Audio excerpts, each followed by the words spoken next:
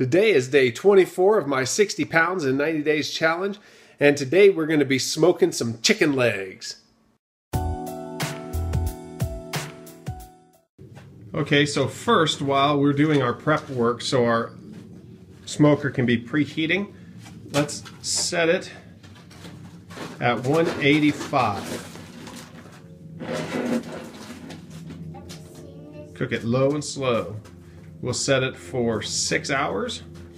It'll be some some length of time around that. Might be a little bit longer, but we can add to it if we need to.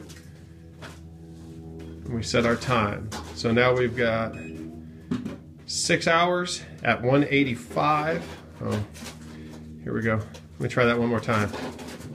It'd help if I knew what I was doing.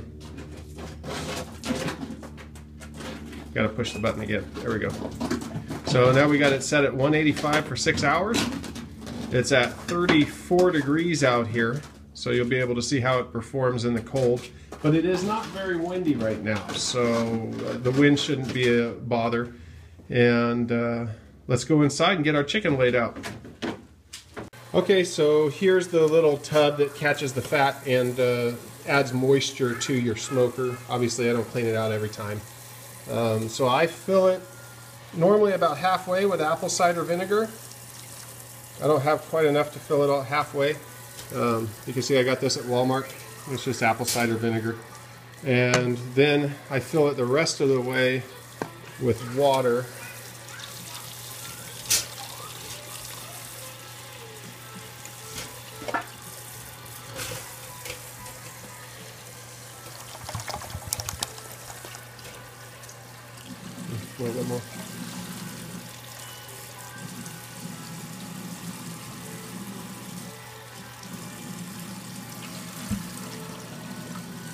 And then I never have to refill it, or I never do anyway, while I'm smoking the legs.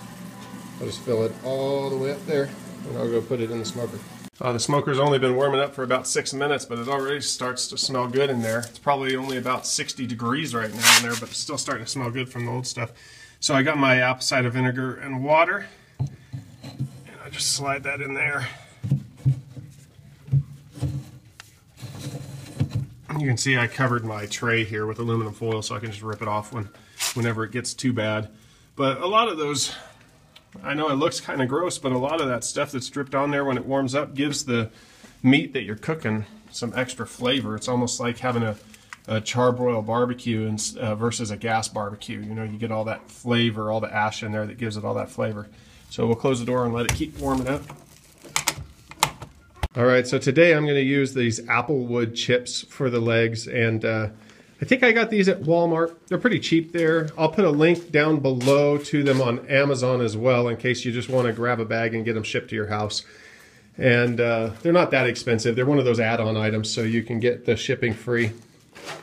And uh, I normally wind up adding these about, I would say every hour and a half, so I probably add them four times over the course of the cook. But I don't add them while the stove is preheating because when I open the door to put the chicken in, it'll just let all the smoke out anyway, so it's kind of a waste of the chips. So I'm going to wait till I put the chicken in before I put the chips in the little receptacle. This is the one bad thing about this smoker that I've had happen to me so far. I've been using it for about, well, almost a year now, so I probably used it I don't know, uh, 15 to 20 times over the course of the year because I don't use it all the time and I try to make a big batch of legs or whatever I'm cooking all at once so it lasts me for a week or so and then I'll wait a week and do it again. This is the worst thing about it though is the LED on the smoker itself already has two spots that are burnt out so you can't read the numbers. Luckily it came with that remote that I showed you earlier so I just used the remote control for it. But uh, that's kind of a pain in the butt. And I was looking online trying to find a part to fix it, and I haven't found it yet. But I'm going to keep looking and see how much it is. Problem is, the smoker's only a couple hundred dollars, so the part would have to be pretty cheap to make it worthwhile to fix.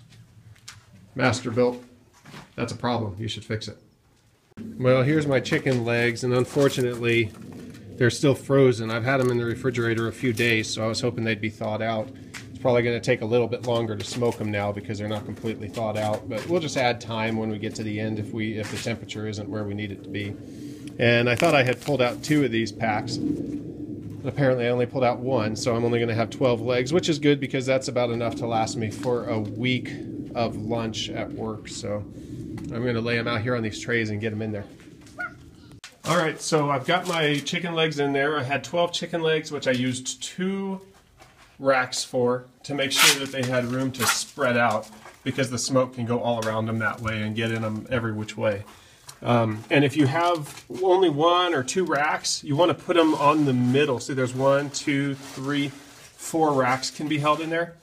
Um, so you want to do right in the middle if you can, which I did here. This particular smoker comes with an internal meat probe, and so I would normally stick that in right now, but because they're uh, frozen, they're going to have to thaw out a little bit before I'm able to get the meat probe in there. And also when they're frozen like that, they're not going to take a smoke very well. So I'm going to wait until they thaw out before I put any chips in too. Uh, you can see it's pretty cold out here. That's snow from the table I was putting the chicken legs together on. Sometimes I pre-season them, but this time I didn't pre-season them because when I get done, I'm going to put a wing sauce all over them. So they're kind of like giant wings. So it's been heating up for 19 minutes and you can see that it's up to 121 degrees, but I've had the door open a couple times, putting the chicken in and out. So now that we've got everything closed up and we can leave it closed up, we'll probably leave it there for a while. If you're contemplating whether or not you need a smoker with a sight glass or not, um, I like it, and sometimes I clean it so that I can see better. But a lot of times, the only thing I use it for is to make sure that it's filled up with smoke in there because sometimes the smoke's not really rolling through to where you can see it coming out the vent at the top. But even though you can't really see the food in here to see what color it's turning or whatever, you can see if it's full of smoke in the glass. So that's the benefit that I see to having one with a glass door. Okay, so I was outside sledding with the kid. I didn't get to see exactly when it hit 185 degrees, uh, but when I came in, it hit in 45 minutes, and uh, this it was all heated up to 185 degrees. So that's when it's 34 degrees outside. It takes probably, I would say 40 minutes because I, I did have the door open for a while. So I'd say for about 40 minutes before it gets up to 185 degrees. Okay, so it's been an hour and a half. I feel like the chicken's probably thawed out by now. Um, gonna go ahead and put this meat probe in there. So let's go with the top one here. And it's hard to do with one hand. There we go. So we'll put the meat probe in there. Actually, let me use both hands so I can get it in there real good. There we go. You want to get it stuck in as deep as you can right next to the bone uh, in a, in a very fleshy part of the meat. So I got it in there as, as good as I can. I picked what looks to be the most accessible and biggest chicken leg there is in there. And now we're going to put some wood chips in as well for our first time. Okay, so I got my apple wood chips and I filled up my little tube and I'm going to put my tube in there and turn it over and uh, dump them out so that they'll smoke. Okay, so I turned my smoker up halfway through, three hours into the smoke, I turned it up to 275 to get the temperature rising on the meat a little bit uh, faster because I didn't want it cooking too late since I started with frozen chicken legs. And so now I have an internal temperature of 191, which is plenty for poultry and you can see also that like the meat is pulling away from the legs in a couple spots. The skin is pulling away from the legs on that one. So um, when it's pulling away from the bone like that you can tell that it's actually done. And they're not very dark because I only added wood chips twice this time instead of the three to four times that I normally do. So they're probably not going to have a supremely smoky flavor but they will be smoky and tender, and I'm to toss them in a wing sauce, so I'm to get extra flavor that way. Let's take them inside and make our sauce. Okay, so here's my chicken legs after I pulled them out of the smoker. And um, I left them in there a little while longer after I said I was to pull them out just because I wanted them to get a little bit darker and get the skin to be a little bit more crispy. Now I'm to go and make a quick wing sauce to toss them in. All right, it's going to be a super simple wing sauce. So I've got, I don't know, whatever butter was left in the stick there. It's probably about three tablespoons. and three little packets of stevia. Stevia in the raw stuff.